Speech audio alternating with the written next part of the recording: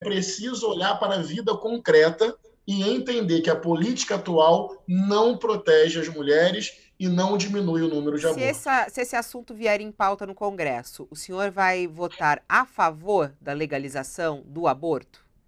Óbvio, óbvio. Legalizar, regulamentar, trazer para a esfera da saúde, trazer para a esfera da assistência social e tirar o estigma, o peso e o castigo sobre o corpo de muitas mulheres. E vou dizer mais ainda. Recentemente, eu ouvi uma história. Uma menina chegou para sua mãe, que é pastora, e disse o seguinte: pastora neopentecostal, mãe, mulheres da igreja já fizeram aborto e te procuraram?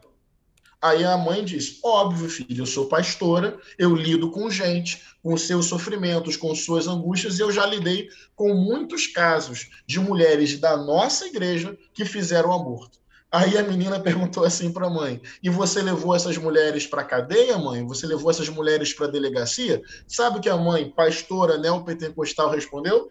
Óbvio que não, filha. Eu sou pastora. Eu fiquei socorrendo e cuidando dessas mulheres. Então a menina foi e disse: então você concorda comigo com a pauta da descriminalização do aborto. Não é condenar, não é prender, é ouvir, escutar, acolher e acompanhar. Muitas mulheres das nossas igrejas fazem aborto e precisam de um ambiente de escuta, de respeito. E a promessa não tem que ser cadeia. A promessa tem que ser respeito, escuta e acolhimento para uma decisão tomada num ambiente de amor. Só para entender, entender bem a sua posição, pastor, o senhor é a favor de criar políticas públicas que protejam a mulher, é, mantendo a legislação atual, que autoriza o aborto em casos de estupro, Não, ele, ele defendeu a legalização do aborto aqui, né? A liberação, a descriminalização completa Defe do aborto. Defendeu a legalização. Ele falou que sim. Né? Defendi a legalização. Eu, não, não.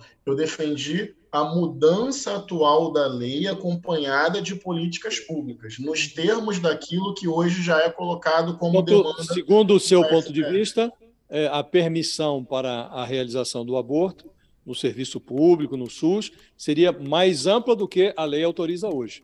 É isso. Não sei se eu entendi a pergunta. Eu defendo. A lei, a lei autoriza o aborto hoje em três casos, certo? Anencefalia, uhum. risco de vida para a mãe e estupro. Pelo que eu estou entendendo, o senhor está defendendo que qualquer tipo de, eh, de aborto seja amparado, seja há uma descriminalização generalizada e o serviço público tem que amparar essa mulher. Não importa se ela foi estuprada, se há um risco é, de, de, de vida para a mãe ou se há anencefalia. Qualquer tipo de aborto deve ser descriminalizado. É isso que estamos entendendo, é isso? Exatamente, com um, uma observação. Tem um tempo gestacional limite que tem a ver com a saúde da mulher e da criança, e eu defendo que o limite seja esse tempo gestacional. Eu só preciso lembrar agora qual é o tempo exato que hoje é reivindicado por especialistas, profissionais da saúde e por mulheres. Então, considerando esse tempo gestacional, com referência e critério de saúde, eu defendo a ampliação, sim, da legislação.